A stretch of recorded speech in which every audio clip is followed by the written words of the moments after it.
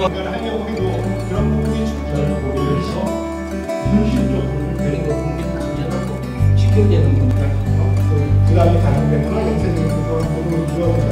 이런 부분이 상당히 제품의 어떤 가격보다는 기술 경쟁이 돼야 요즘 같은 큰 재난에 그 대응할 수 있는데 모든 게 가격에 이루어지다 보니까 그게 저희들이 뭐 불만이다 그럴까? 그냥 일반 물품 5천만 원 이상부터 2억까지는 가격의 폭을 낮췄습니다. 낮춰서 기술하고 가격이 균형을 이뤄서 같은 입찰을 낙찰에 영향을 줄 수 있도록 뭐 제도를 많이 검토를 하도록 하겠습니다. 현재 이런 이 제품, 아즈리피 마스크라든지 일반 방독면이라든지 이런 제품은 지금 마스에 등록이 안 됩니다. 혁신 제품을 조달 시장에 빨리 들어오게 하기 위해서 마스에 들어가든지 종합쇼핑몰에 아니면 벤처날에 가든지 간에 올라가서 그거를 바탕으로 홍보를 하고 판로가 개척되게 조달청하고 소방청하고 좀, 어, 좀 대화들이 좀 많이 좀 필요할 것 같습니다.